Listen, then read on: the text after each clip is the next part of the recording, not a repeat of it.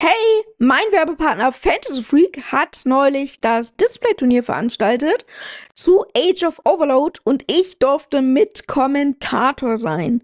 Ich habe die VOD-Aufnahmen vom Twitch-Livestream freundlicherweise zur Verfügung gestellt bekommen, sodass ich jetzt hier raus coole YouTube-Videos schneiden kann und ich euch jeden Tag eine Runde zum Fantasy Freak Display-Turnier präsentieren kann. Und ich wünsche jetzt erstmal ganz viel Spaß bei diesem heutigen Duell Lust. anderem auch schon gesehen gehabt.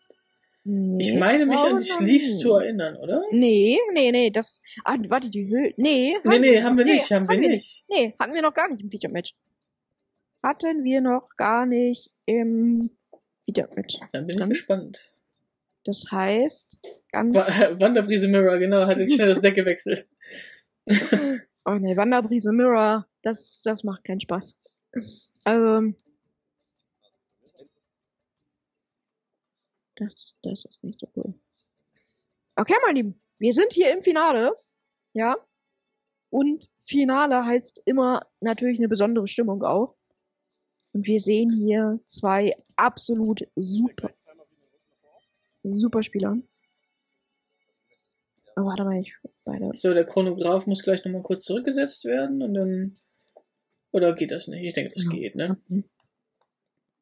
Und von daher super, super, super cool. Und ich bin sehr gespannt, was jetzt gleich auf uns zukommt. Wir wissen ja, ein Deck kennen wir schon, aber das andere Deck kennen wir jetzt noch nicht. Okay, die Zeit ist falsch. Ich denke mal, die wird gleich geändert. Alles gut. Ja. Ich gucke mir jetzt gerade nochmal, gucken, ob ich die Decklisten jetzt gerade nochmal aufrufen kann. Ähm, Äh, soll ich eventuell den unteren Spieler einmal kurz um 180 Grad drehen, Leute? Was sagt ihr? ja, mach das mal, mach das mal. Ja, okay, okay, die Zeit wurde geändert. Supi. Vielen Dank, Judge Team und Theo. Alles super. Ihr macht das toll. Richtig, richtig gut auf jeden Fall, ja. So. So, ich gucke gerade, ob ich die Decklisten finde. Von unserem Ach, auch Drangling! Dragonlink. Wir haben genau das gleiche Matchup wie eben. Dragonlink gegen Risk Resgaze. genau das, was wir gerade hatten. Das ist ja krass. Damit habe ich nicht gerechnet. Damit habe ich ehrlich gesagt nicht gerechnet. Aber finde ich cool und zeigt schon wieder, wie gut Dragonlink einfach ist. Was für ein starkes Deck das ist. Ne? ist Also das Saronier? Das war Saronier, ne? Ja. Ich glaube, es war ein Saronier, ja. Ich glaube, das war ein ähm, Saronier. Ah, Bestial Control. Okay, okay. Keine Rockets. Okay, okay, okay. Uh, okay. Die Desparta Sleeves, ja auch cool. Die sehen wirklich cool aus. Die sehen wirklich ziemlich, ziemlich cool aus. So. Ich hätte gedacht, dass wir tatsächlich an ein Unchained sehen. Aber auch so finde ich strong. Finde ich sehr, sehr strong. Ne, ein bisschen Deck, die, die können was, die haben ordentlich Pfeffer. Und wir sehen schon, das liegt, das sieht ziemlich gut aus. Das sieht ziemlich, ziemlich gut aus. Es ist ein starker First Turn hier. Also von daher sehr, sehr nice. Sehr, sehr nice. Also egal wie das zu Ende geht, ich glaube, beide können sich echt freuen. Einer kriegt Age of Overlord Display, der andere kriegt eine Rarity Collection Display. Das ist schon echt nicht schlecht, ne? Also, Das ist richtig gut. Das ist richtig gut. Auf jeden Fall. Das ist sehr, sehr gut. Und beide haben da eine Menge was. Also, ne, du kannst mit beiden Sachen, kannst du dich mehr zufrieden geben. Es sind beide Sachen ultra strong. Super viele geile Produkte drin. Äh, Produkte, sag ich schon, Karten drin. Einfach. Von daher, also das ist schon sehr, sehr gut. Das ist schon sehr, sehr gut. Muss man einfach so sagen. So, unser Pistolspieler legt hier aber richtig los. ja, der macht das auch ziemlich flott, ey. Das ist, Ja. Da ist das kommt- eine Out Art Masquerena, ne? Ja, da Ja. kommt eine eine Masquerena. Sieht auch viel cooler aus als die normale, mag ich sehr viel mehr. Findest du? Ich mag die, äh, die Original lieber tatsächlich. Ich, ich mag das Farbschema bei dem Motorrad und allem. Keine Ahnung, ich mag Ja. das Blau-Lila. Äh, das Nee. Lila-Gelb so. Ich mag tatsächlich das, die Original äh, lieber. Hm. Finde die auch nicht schlecht, aber ich mag die, ja, die originale Masquerena mag ich da doch irgendwie lieber. Ich mag die. Ich finde die, ich finde die irgendwie besser vom Artwork. Mhm. So. Wir haben doch ein relativ starkes First-Run-Board hier Ja. auf der Pistol Dragon-Seite. Das sieht sehr, sehr solide aus. ja. Das sieht sehr, sehr solide aus. Auf jeden Fall. Ne? Also da haben wir, da haben wir einiges, was wir hier machen können auch. Und das sieht, das sieht ziemlich gut aus. Das sieht wirklich ziemlich, ziemlich gut aus. Mal gucken, was noch so geht hier.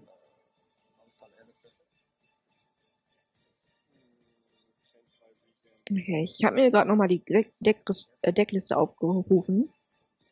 Und das sieht auf jeden Fall super spannend aus. Sieht super, super spannend aus. Und ich glaube, ähm, auch im Extra-Deck sind. Uh, der Spiel. Uh, hast du mal ins Extra-Deck geguckt? Ich schau mal kurz nach. Äh, vom äh, Bistia-Spieler? ja, Ich schau mal guck dir kurz. mal die, die allererste Karte an. Die allererste Karte vom Bistil-Spieler. Habe ich auch noch nicht so oft gesehen. Es könnte, das könnte witzig werden. Das könnte sehr, sehr witzig werden.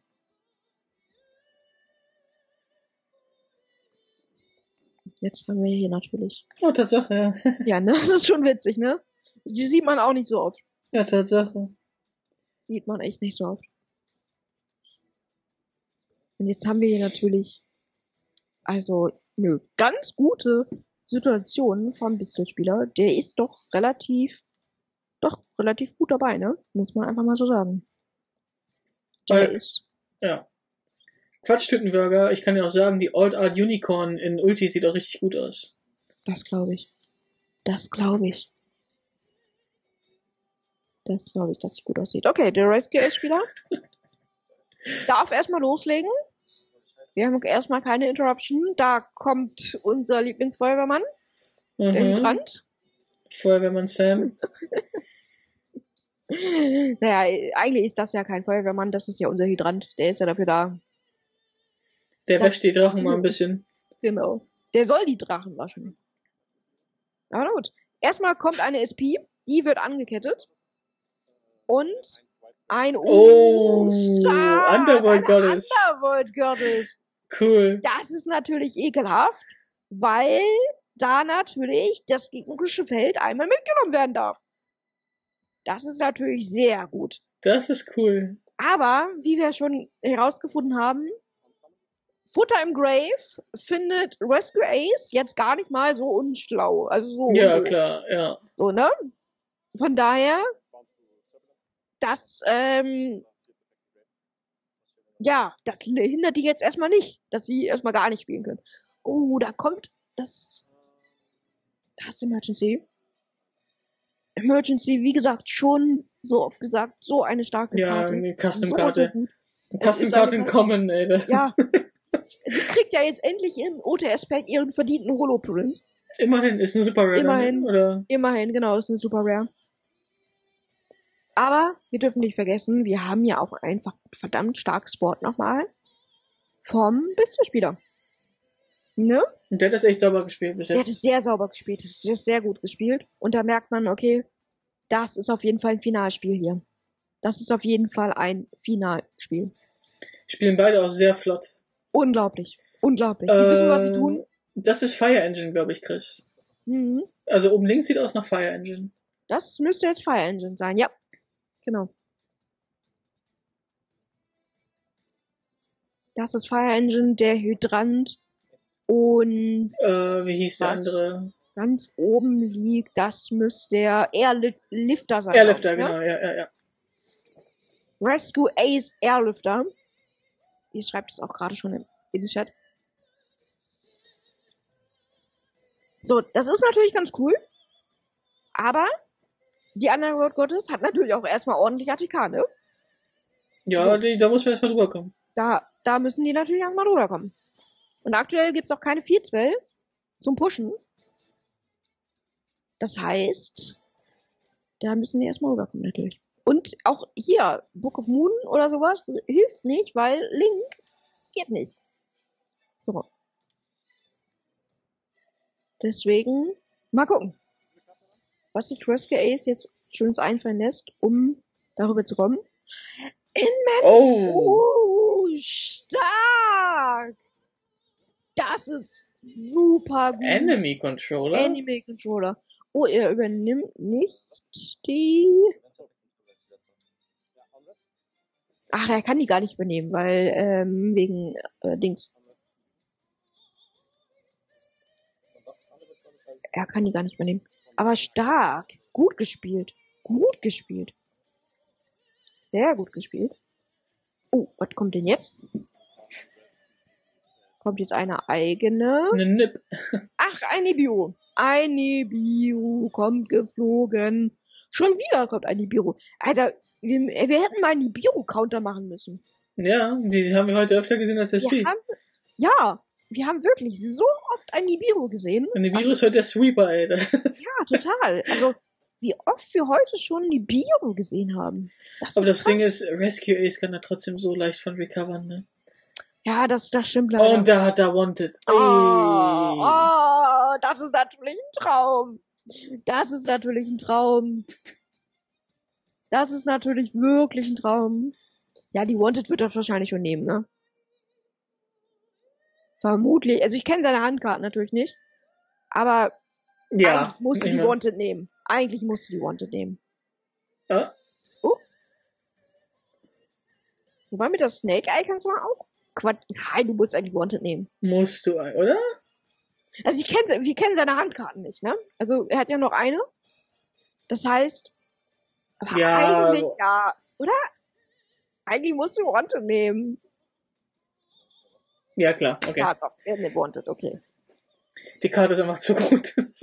Gerade im Rescue Ace Ja. ist es einfach schon sehr, sehr strong. Das die liest sich ja teilweise Gewinne. einfach 1-0. Äh, Für, oh, für die Link? Äh, für Ja. bisschen? Nice. 1-0 für die Lenk. Äh, beziehungsweise bisschen. Bisschen Control, sorry. Wir wollen, das, wir wollen das Deck hier nicht Wir wollen das falsch hier. benennen. Bisschen Ja. Control Cool, cool, cool, cool, cool. führt hier 1-0, um Zeit zu sparen. Ist halt natürlich schlau, ne? Wahrscheinlich. Nützt halt nichts jetzt, wenn er nicht weiß, ob er gewinnen kann, jetzt noch 10 Minuten zu verschwenden, ne? Genau, genau. Er hatte auch nur noch eine Handkarte. Die Ressourcen im Grave waren beschränkt. Und äh, der Bistel-Spieler hatte schon eine ziemlich ordentliches Board auch. So. Das heißt, was wird hier gezeigt? Was kann hier gezeigt werden? So, das ist natürlich die große Frage, ne? Das ist natürlich jetzt die große Frage. Was kann hier gezeigt werden? Was kann, was kann reinkommen? Was geht raus? Ich finde, Siden ist immer eine große, große Kunst und dann merkt man wirklich, ob sich jemand mit dem Deck beschäftigt hat oder nicht. Weil Siden, das kann so, so entscheidend sein. Ja, und so wie die beiden gespielt Ja. haben gerade, man sieht, die beiden können es auf jeden Fall. Ich denke mal, da, da sehen wir noch eins, vielleicht sogar zwei gute Spiele jetzt noch. Ja, also für uns ähm, im Stream würde ich mir natürlich zwei gute Spieler noch wünschen, einfach weil es ja, spannend geht und wir natürlich möglichst ähm, ja einen coolen, coolen, unterhaltsamen Abend haben wollen. Aber ich kann es verstehen, wenn wir jetzt ein cooles zweites Spiel sehen, das wäre natürlich auch in Ordnung, ne? Muss man einfach sagen. Auf jeden Fall. Aber natürlich, ein cooles drittes Spiel, ich glaube, das wäre schon, ich glaube, wir alle, nur aus Zuschauersicht, ne? Nur aus Zuschauersicht, wäre das natürlich auch was. Wo wir sagen, warum nicht? Warum nicht? Wir haben auch heute konstant so um die 50 Viewer, was auch sehr nice ist. Auf jeden Fall. Vielen Auf Dank fürs Zuschauen, Leute. So. Offensichtlich, genau. Rescue Ace startet. Natürlich. Das war zu erwarten. Und, oh, wir starten mit Wanted. Das ist, Das stark. das ist natürlich sehr, sehr gut. Aber es geht durch. Keine Ash oder irgendwas. Geht durch. Wanted kann, kann full durchziehen, was natürlich genau das ist, was hier auch gewünscht ist. Okay. Eine, eine Econ, eine Emergency, äh, Emergency, doch, ein Enemy Controller wird abgeworfen, um die Black Witch zu specialen und sich dann wahrscheinlich die Snake Eye Karte genau, Genau. zu holen, worauf wir wieder Zugriff auf unseren Hydranten bekommen. Oh, wir haben den Hydranten. Oh, okay. Das heißt, Das ist auch nochmal ein Follow-up. Ja, die Ultra Spell ist auch echt geil von äh, Auf Diablo. jeden Fall. Auf jeden Fall. Die ist sehr, sehr gut. Eine sehr, sehr gute Karte. Und da kriegen wir wieder unsere Follow-up-Maschine auf die Hand. Sehr, sehr gut auf jeden Fall. So. Dann wird das auch einmal tributet. Und wir holen uns aus dem Deck ein Level 1 Monster. Das heißt, einen weiteren, eine Kopie oder eine weitere Kopie von unserem Hydranten. Können jetzt in Linkuribo gehen. Genau, das machen wir auch. Und könnten theoretisch mit den beiden, genau, die kommen jetzt raus. Holen ihn und können jetzt Set vor. Set vormachen. Oh, da Oh! Stark, stark, stark. Nibiru, der Vernichter heute, ey. Stark, schon wieder kommt da der Nibiru angeflogen. Das ist sehr, sehr gut. Das ist sehr, sehr, sehr, sehr gut. Das ist sehr, sehr gut. Aber die beiden gehen nochmal in eine IP. Und ein weiteres Monster kommt. Und auch jetzt, das hat uns nicht gehindert. Das ist so stark. Wir können trotzdem unsere Ja, also Vorcard Rescue Ace ist das so das egal, ist ne? so gut, das ist so gut. Und wir haben nicht nur vier Karten, die wir gesettet haben, sondern wir haben dazu auch noch eine IP Masquerena, die natürlich Potenzial hat, sehr nächste Runde. Endwort. dann auf die SP Little Knight auch zu gehen. Ja, das ist sehr, sehr stark. Das ist sehr gut. Das ist sehr, sehr gut. Also das ist sehr, Das ist sehr echt, strong. als, als wäre der Nibiru gar nicht passiert. Ja, also der Nibiru war eigentlich ein Follow-up für ihn, so ein bisschen, ne? Anti-Spell. Oh. Frame, da kommt ASF auch noch Shane, die im, ähm, oh mein Gott, Shane, Shane, Shane, Shane, Shane Emergency, ne? Ja, Emergency. Shane Emergency. Oh mein Gott, das ist Ja, so natürlich, gut. ja klar. Das ist, Das ist so gut. Und jetzt haben wir, jetzt haben wir genau das, was wir gerade gesagt haben. Wir haben ein Spiel 3. Das alle, alles entscheidende Spiel 3. Und auch hier war wieder wirklich ultra clean gespielt vom Rescue Ace Spieler. Und da muss man sich wirklich fragen, macht es Sinn, Nibiru schm zu schmeißen? Oder warte ich einfach? Aber wahrscheinlich muss der Nibiru schmeißen, sonst wäre da irgendwie noch mehr gekommen. Aber der Nibiru, der hat schon, der man hat ihm eigentlich schon Anti- wieder Vorteil gegeben, ne? Man kann Anti-Spell-Spielern aber auch nicht böse sein. Ich meine, es geht ja um, es geht ja um den Preis. Man Es will ja auch um gewinnen. Richtig, Ne? viel. Es geht hier um Platz 1. Es geht hier um Platz 1. Und natürlich ist es dann vollkommen legitim, auch mal ein ASF zu flippen. Na, das gehört einfach dazu. Das gehört einfach dazu. So, Yu-Gi-Oh! Ist so unfair. das stimmt. Naja, jetzt haben wir wenigstens ein Game 3, wir noch 35 Minuten. Vielleicht sehen wir jetzt noch was richtig Cooles. Ja, ich glaube, wir sehen jetzt ein richtig, richtig cooles Game 3. Und ganz ehrlich, das ist doch eigentlich genau das, was wir im Finale sehen wollen, oder? Denke ich richtig auch. geiles Game 3 und einfach ein schönes Spiel. Das ist doch das, worauf wir alle Bock haben. Und das kriegen wir hier absolut geliefert. Also 10 von 10 Content, also wirklich richtig, richtig gut. Wir sehen zwei unfassbar gute Spieler. Die machen ihre Sache extrem gut. Und die wissen ganz genau, was sie tun. Und von daher, das sieht sehr, sehr gut aus. Das sieht sehr, sehr gut aus und sieht auf jeden Fall nach sehr viel Spaß aus. Und ich finde es auch wichtig, dass beide Spieler Spaß haben. Und ich glaube, beide Spieler haben auf jeden Fall auch Spaß. Das denke ich auch. So. Wir fangen an gleich. Es geht los auf ein Spiel 3. Ich vermute mal, der Business-Spieler wird anfangen. Ja, da kommt die Dragon Ravine. Pitch einen, was war das, Sarunir? Ja, ich glaube, das ist Sarunir. Ja, Ja, pitch einen Sarunir, Sarunir Effekt. Und legt sich wahrscheinlich ein Lobellion rein. Ja, da kommt der Lobellion. Auch ein äh, 25 University, ne? Der ist Quarter Century, ja. Mhm. Hm, check, check, check. Und der ist sehr selten in der Seltenheit. Das stimmt. Das stimmt. Uh. Uh, Sch Schattenlicht. Ah, sehr cool. Sehr, sehr cool. Mhm. Einen ähnlichen Start wie tatsächlich in Game 1. Nicht ganz genauso, aber ähnlich. Aber tatsächlich gucken. Kommt da noch mehr? Oder war's das erstmal? Weil nur das könnte eventuell ein bisschen dünn sein. Müssen wir mal gucken. Er darf jetzt einen Dragon holen. Vermutlich kommt ein Red Ice Darkness Metal Dragon. Würde auf jeden Fall Sinn machen, hier einen Red Ice Darkness Metal Dragon zu beschwören. Naja, holt sich kein Red Ice Darkness Metal Dragon, er holt sich ein, was ist denn das, Dual Swarm, ne? Ja. Ja, das ist ein Dual Swarm. Das ist natürlich auch ganz cool. Dual Swarm, wenn der geht, darf der natürlich noch was mitnehmen. Das ist schon, das ist schon gut. Das ist schon, das ist schon sehr nice. Okay. Und unser Rescue Ace Spieler legt schon wieder los. Er legt schon wieder ordentlich los. Mit der Diabelzer Engine. Da kommt das Emergency. Und wie stark, uh, krass. Jetzt hat er Zugriff auf unseren Hydranten. Kommt er durch? Kommt es durch?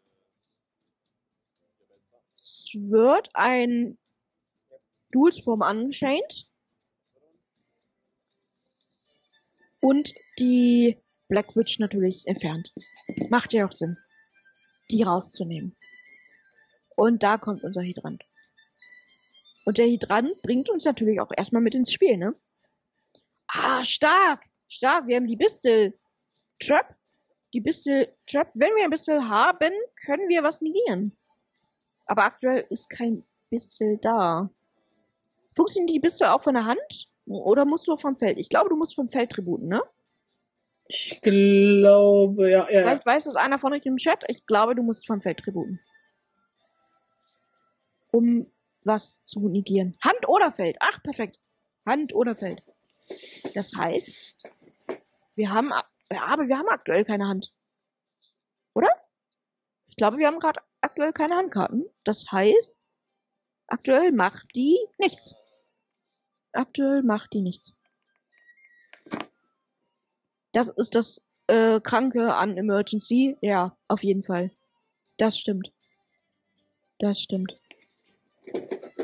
Oder welche Karte genau? Ne, die Bistel. Die Bistel Trap. Die Bistel Trap.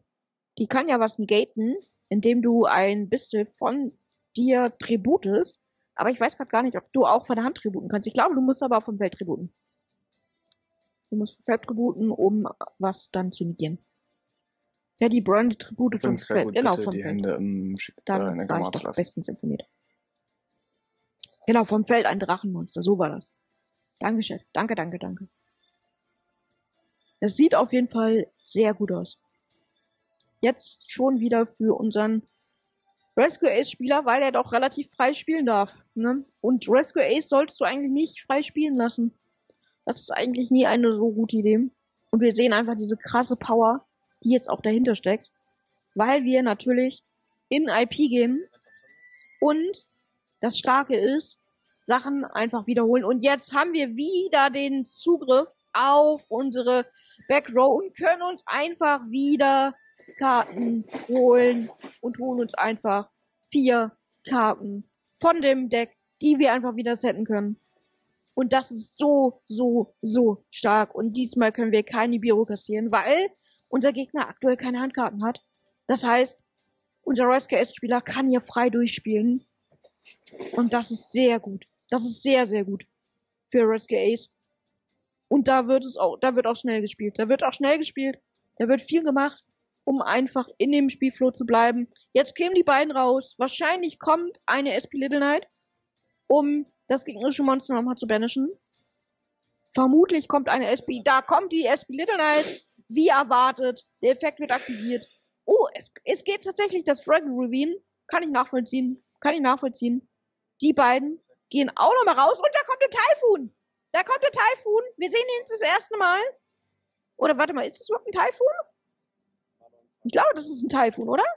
Das ist ein von gewesen, ja. Ja, ne? Das war doch ein Taifun. Und da kommt Pot of Prosperity. Ah, das ist so widerlich, das Deck. Alter, Alter! Alter, ist das es ist so stark. Es ist so, so, so stark. Du hast alles rausgehauen und jetzt kommt auch noch mal der Pot. Und da kommt, oh mein Gott, oh mein Gott. Ja, die Roter kann er sich eigentlich gleich schnappen. Das ist so stark. Das ist so, so stark. Mit der Roter wird er jetzt sehr, sehr recht wahrscheinlich den Ace Monitor holen. Genau. Nee, er holt gar nicht den äh, Monitor, sondern er holt sich den Impuls. Das stimmt. Impuls ist auf drei. Warum soll er sich den Monitor holen? Muss er ja gar nicht. Impuls ist hier an der Situation natürlich viel, viel besser. Sehr gut. Das ist so stark. Das ist so stark. Five Pass Set.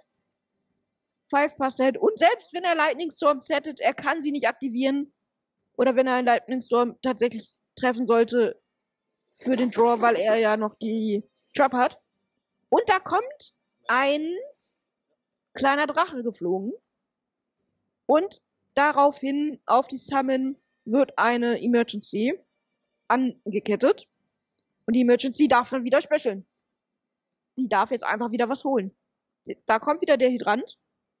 Der Hydrant kommt und an den Hydranten kommt noch ein Rescue. Und wir können wieder was vom Friedhof holen. Daraufhin kommt jetzt unsere zweite Trap. Unsere Ex-Kingunchu, keine Ahnung, wie das ausgesprochen wird. Wo wir einfach ein Monster tagen können. Das Deck ist einfach krass. Was, was der Gegner kontrolliert oder einfach zerstören. Und das ist so viel Power. Da, da steckt so viel Power hinter. Das ist so krass. Das ist so krass. Und wir müssen einfach auch sagen, wir haben ja auch einfach einen Spieler, der es verdammt gut spielen kann. Ne? Ja, fand er immer, ja. Der kann es einfach sehr, sehr, sehr, sehr gut spielen. So. Jetzt gehen die beiden raus. Das Und dann ist ein. Win. Das, ist Win. das ist ein Win für Little Thunder wieder. Little Thunder GG. Das Turnier. Erneut. Schreibt mal ganz doll GG in den Chat. Richtig, richtig strong.